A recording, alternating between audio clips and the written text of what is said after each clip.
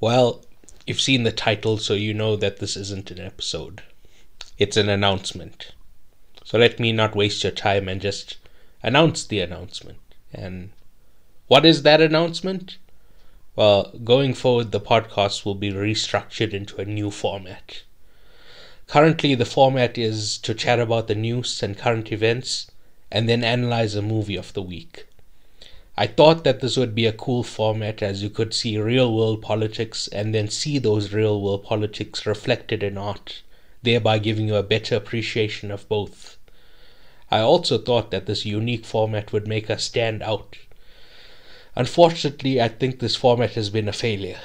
I think that people keep looking for political analysis, they don't want to chat about movies, and the people looking for movie reviews don't want to listen to politics talk. So, this is why I'm taking the extraordinary step of restructuring the podcast into two separate but equal parts. One part will be just news and current events talk, and one part will just be reviews of movies and possibly some TV as well. I have to stress that this is still the same podcast, but split over two feeds because I only have permission from my employer to host one podcast.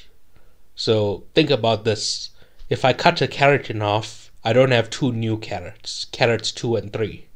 I have the same carrot just split into two, so carrot 1A and carrot 1B. And that's what this podcast is is doing, right?